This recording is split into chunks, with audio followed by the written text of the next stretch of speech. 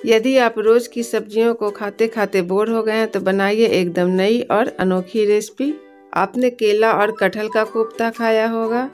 गोभी और लौकी के कोफ्ता भी आपने ज़रूर बनाया होगा, पर आज हम बनाएँगे तिल के कोफ्ते, जो शायद अभी तक आपने नहीं बनाया होगा तो वीडियो को अंत तक देखिएगा और पसंद आए तो लाइक कीजिएगा। नमस्कार, मैं संगीता, स्वागत है आप सभी का हमारी रसोई में। तो चलिए बनाते हैं तिल के क्रीमी कोफ्ते। यहाँ मैंने लिया है सफ़ेद तिल, जो वज़न में करीबन 100 ग्राम है। इसे हम दो से तीन घंटे के लिए पानी डालकर भिगो देंगे। एक चम्मच से इसे मिला लीजिए, नहीं तो तिल जो है पानी के ऊपर ऊपर रह जाएगा। साथ ही हम लेंगे दो या तीन छोटे चम्मच मूंगफली के दाने।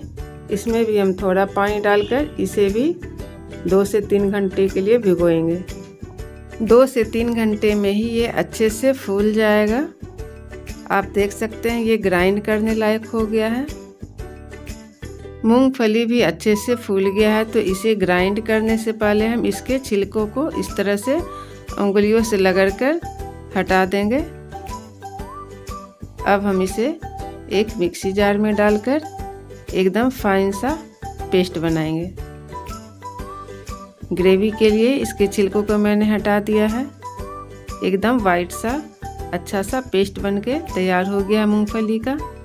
अब हम इसी जार में तिल को भी डाल देंगे और इसे भी ग्राइंड कर लेंगे। इस तरह से अब हम इसे एक बाउल में ट्रांसफ़र कर देते हैं। इसमें डालेंगे एक छोटा चम्मच नमक, आधा चम्मच हल्दी पाउडर और आधा चम्मच ही लाल मिर्च पाउडर।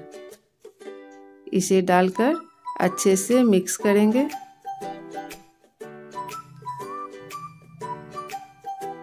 ये अच्छे से मिक्स हो गया। अब हम इसके कोफ्ते बनाएँगे। तो कोफ्ते बनाने के लिए हम गैस पर एक कढ़ाई चढ़ाएँगे और गर्म होने पर उसमें डालेंगे दो से तीन बड़े चम्मच तेल। इसे हम डीप फ्राई नहीं करेंगे, बल्कि थोड़ा सा तेल में सेलो फ्राई करेंगे। तो इस तरह से हम अपने पसंद के साइज़ के अनुसार छोटा छोटा तिल का कोफ्ता बड़ी तैयार कर लेंगे।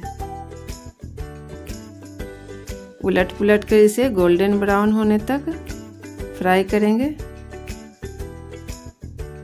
इस तरह से हम सारा कोफ्ता बड़ी तैयार कर लेंगे और इसे एक प्लेट में निकाल लेंगे। अब हम इसकी ग्रेवी तैयार करते हैं तो उसी कढ़ाई में हम दो बड़े चम्मच और तेल डालेंगे। जब ये गर्म हो जाए तो इसमें आधा छोटा चम्मच जीरा डालेंगे। इसे चटकने देते हैं। फिर इसमें डालेंगे हम मीडियम साइज़ के दो प्याज बारीक कटे हुए। मीडियम फ्लेम पर ही हम इसे सॉफ्ट होने तक पकाएँगे। और दो हरी मिर्च को इस तरह से लंबे टुकड़ों में काट कर भी इसमें ऐड कर देंगे। स्वाद के अनुसार नमक, हल्दी पाउडर, धनिया पाउडर एक छोटा चम्मच, मिर्च पाउडर एक चम्मच और एक छोटा चम्मच जीरा पाउडर।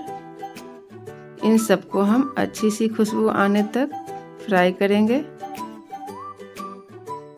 जब ये अच्छे से फ्राई हो जाएगा तो हम इसमें डालेंगे एक मीडियम साइज़ का टमाटर बारीक कटा हुआ। इसे भी हम हल्का सा सॉफ्ट करते हैं इन मसालों के साथ। जब ये थोड़ा सॉफ्ट हो जाए तो हम इसमें डाल देंगे मूंगफली का पेस्ट, जिसे मैंने ग्राइंड करके रखा था।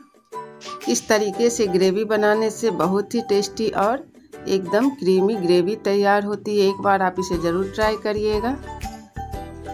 मूंगफली का पेस्ट डाल के हम इसे दो से तीन मिनट तक फ्राई करेंगे जब तक कि ऑयल सेपरेट ना होने लगे।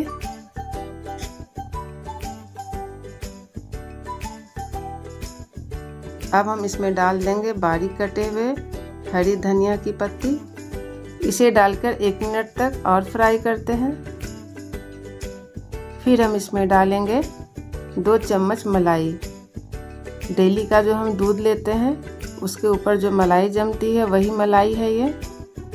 इससे ग्रेवी में बहुत ही अच्छा टेस्ट आता है एकदम। क्रीमी लुक आएगा ग्रेवी में। अच्छे से फेंट कर हम इसे तैयार मसाले में मिलाएँगे।